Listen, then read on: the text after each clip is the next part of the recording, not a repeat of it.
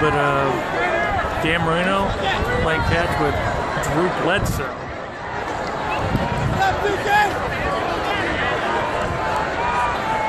Still, still got the arm, as you can see. In the background, the game going on. Jeff Garcia is now in. The third quarterback in for Niners after Joe Montana and Steve Young. Dan Marino always itching to show off that arm. One more time.